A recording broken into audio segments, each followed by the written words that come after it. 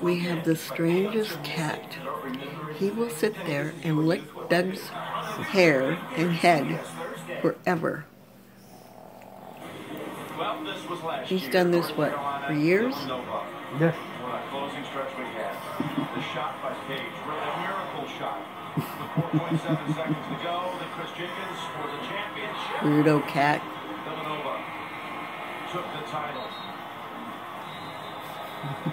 And it's just hard to imagine, but again, his brother, Nate Britt, on the Carolina team, he's been traveling with the guy that beat you last year.